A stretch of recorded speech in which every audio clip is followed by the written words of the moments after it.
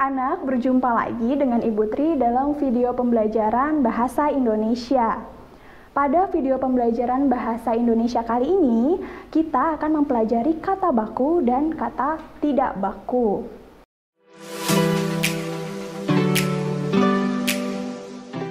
Oke, baik. Kita pasti sudah sering mendengar bahwa kita harus menggunakan bahasa Indonesia yang baik dan yang benar. Nah, berbicara mengenai penggunaan bahasa yang baik dan benar, tentu kita harus paham mengenai kata baku dan kata tidak baku.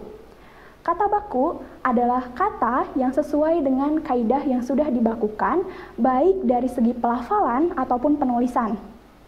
Pada pembelajaran bahasa ke depannya, nanti penggunaan kata baku akan banyak kita temukan. Misalnya, pada penulisan teks observasi, eksposisi, prosedur, cerpen, puisi, dan lain sebagainya. Begitupun saat kita akan berpidato atau berbicara di ranah yang formal.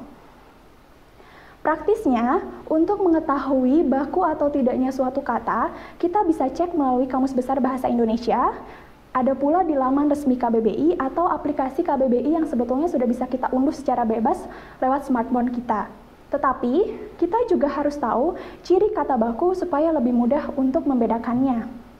Ciri kata baku yang pertama yaitu tidak dipengaruhi oleh bahasa daerah. Misalnya, seperti kata aktif yang sering kali dilafalkan menjadi aktif, daftar menjadi daftar, cengkih menjadi cengkeh. Padahal, kata aktif, daftar, dan cengkeh merupakan bagian dari bahasa Sunda. Jadi, ingat baik-baik ya, yang tepat adalah kata aktif, daftar, dan cengkih. Ciri yang kedua, tidak dipengaruhi oleh bahasa asing. Misalnya kata azan yang masih sering ditulis atau dilafalkan menjadi azan menggunakan D, asas yang masih sering disebut azas menggunakan Z, batin yang seharusnya ditulis batin tanpa huruf H, dan kata realitas yang masih sering disebut atau ditulis dengan kata reality. Selanjutnya, ciri yang ketiga adalah bukan merupakan ragam percakapan. Baik, harus diingat bahwa dalam percakapan sehari-hari tentu kita akan lebih nyaman menggunakan bahasa atau kata yang tidak baku. Misalnya, kata dengan yang dalam kegiatan sehari-hari akan sepadan dengan kata sama, kata mengapa yang sepadan dengan kata kenapa, atau kata tidak yang berubah menjadi kata enggak. Jadi ingat baik-baik mana yang harus kita gunakan dalam percakapan sehari-hari dan mana yang harus digunakan dalam ranah formal. Selanjutnya, penggunaan imbuhan secara eksplisit. Misalnya pada kalimat ia sudah bekerja keras.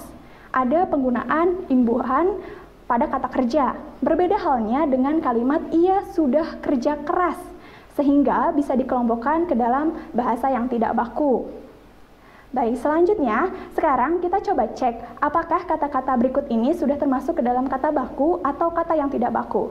Ada kata aktif atau aktif, aktivitas atau aktivitas.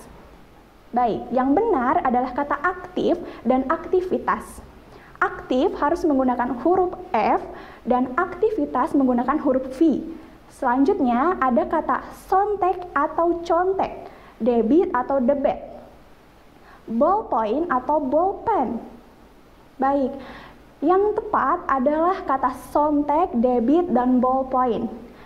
E, kata lain yang sering kali masih kurang tepat penggunaannya adalah kata faham, fikir, dan handal. Semestinya kata-kata itu dilafalkan atau ditulis menjadi paham, pikir, dan andal.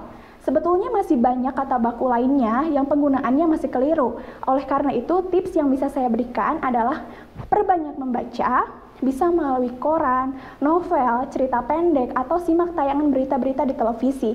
Media-media itu biasanya sudah menggunakan kata-kata yang baku. Bagaimana? Cukup mudah bukan untuk dipahami?